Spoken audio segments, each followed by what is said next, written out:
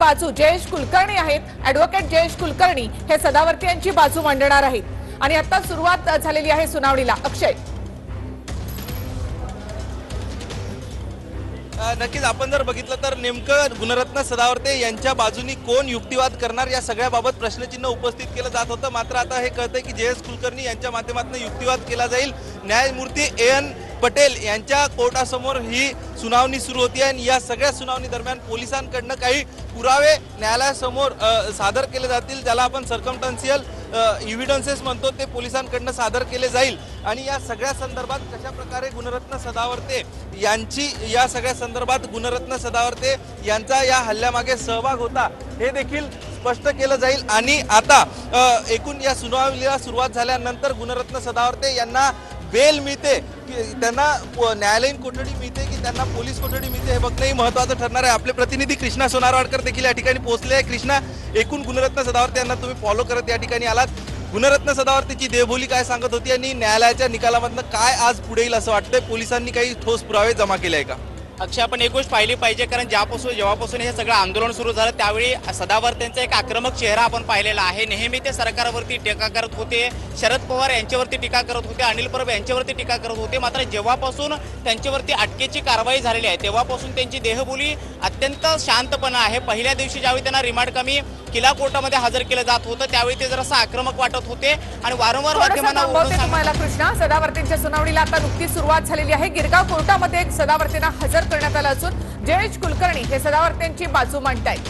आताची महत्वाची बातमी सदावर्त्यांच्या वकिलांसोबत सध्या चर्चा सुरू आहे. कोर्टामध्ये काय घडतंय प्रत्येक बातमी आपल्यापर्यंत पोहोचवतोय. सदावर्तींच्या सुनावणीला सुरुवात झालेली आहे. सदावर्ते आपले वकील जयेश कुलकर्णी यांच्याशी बोलतायत. जयेश कुलकर्णी हे सदावर्तेंचे वकील आहेत आणि ते त्यांची बाजू मांडणार आहेत. सदावर्ते यांची वकिलांसोबत सध्या चर्चा सुरू आहे. याआधी वासवानी यांनी सदावर्ती यांची बाजू मांडली होती. किला कोर्टामध्ये. मात्र आता जयेश कुलकर्णी हे सदावर्तींची बाजू मांडतायत. सदावर्ती यांना दोन दिवसांची पोलीस कोठडी देण्यात आली होती. ही कोठडी वाढवून देण्याची मागणी पोलिसांकडून केली जाणार आहे. त्यासाठीचा युक्तिवाद जयेश कुलकर्णी सदावर्ती यांच्या बाजूने करतील.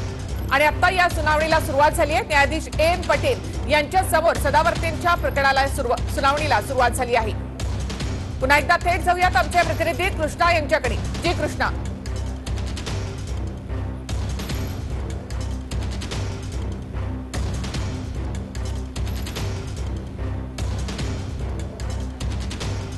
गुणरत्न सदावर्तींना गिरगाव कोर्टामध्ये हजर करण्यात आलं असून सुनावणीला सुरुवात झाली आहे. अक्षय आता सुनावणीला सुरुवात झालेली आहे. सदावर्ते आपल्या वकिलांसोबत चर्चा करतायत. प्रत्येक अपडेट आपण आपण इथे मांडतोय. जे अक्षय.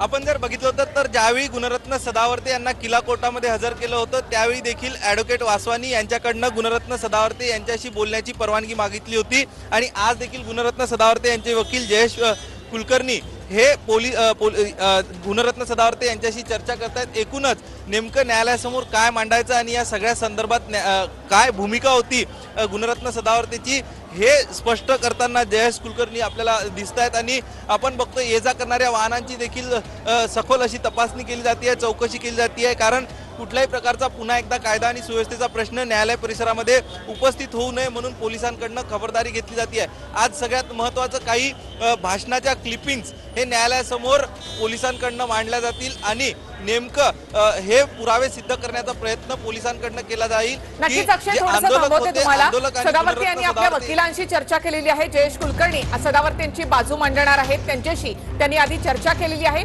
आणि त्यानंतर गुणारत्न सदावर्ते यांनी आपल्या मुलीशी देखील ते बोललेले आहेत. त्यांची मुलगी झेन ही दहा वर्षांची आहे. ती देखील कोर्टामध्ये हजर आहे. आणि आपल्या मुलीशी देखील ते इथे बोलले दोन दिवसानंतर सदावर्ते गुणरत्न सदावर्ते आणि त्यांच्या मुलीची भेट झाली आहे. तिच्याशी ते थोडंसं बोललेले आहेत. जी अक्षय.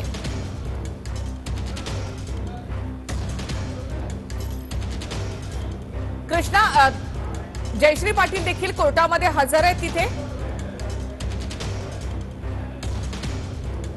अक्षय कुटकेलवार तिथे जयश्री पाटील देखील उपस्थित आहेत.